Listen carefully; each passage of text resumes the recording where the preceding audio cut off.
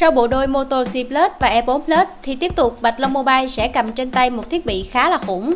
Chip 8 nhận 3GB RAM, pin 4200 mAh và màn hình siêu lớn lên đến tận 6 inch.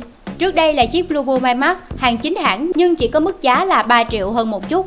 Thiết kế hộp nhìn tương tự các mẫu máy trước của Xiaomi cho cảm nhận khá là rẻ tiền. Bên trong gồm có sạc, cáp Type-C, máy được dán sẵn màn hình, sách hướng dẫn sử dụng và không có tai nghe. Đầu tiên, cảm giác cầm máy khá là nặng với màn hình lên đến tận 6 inch cùng với thiết kế nguyên khối thì sự thật đây là mẫu máy chỉ dành cho nam giới. Tuy nhiên, thiết kế của máy khá là sang trọng với mặt lưng viền phay xước. Mặt sau gồm có cảm biến vân tay, camera đèn LED, logo Bluetooth, mặt trước với camera trước và kích thước màn hình lên đến 6 inch. Nhưng ba phím điều hướng đều đặt ở phía bên ngoài nên làm tăng kích thước của thiết bị. Mặc dù vậy, bạn sẽ có nhiều không gian trải nghiệm hơn trên màn hình này. Do có độ phân giải HD, sử dụng tấm nền của Sharp nên dù có rõ nhưng màu sắc tái tạo vẫn rất tốt.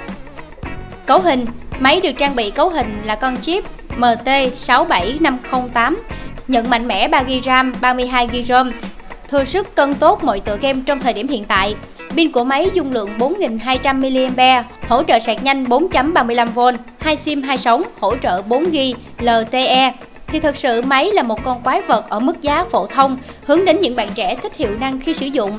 Điều đáng tiếc máy chỉ chạy Android 6.0 thay vì 7.0. Camera của máy chỉ ở mức chấp nhận được, không có gì quá nổi bật trong tầm giá. Như vậy, với giá 3 triệu đồng hơn một tí hàng chính hãng, bạn sẽ có một thiết bị khá khủng về mặt siêu năng. Tuy nhiên, do là hãng mới chưa có tên tuổi, có thể sẽ là rào cản với người tiêu dùng. Vậy bạn nghĩ sao về sản phẩm này với mức giá mềm như vậy? Hãy để lại comment ở phía bên dưới nhé! Mình là Huỳnh Như đến từ B Media. Nếu các bạn có thích video này, hãy like, share và subscribe kênh channel của tụi mình. Xin cảm ơn và hẹn gặp lại các bạn trong những video lần sau.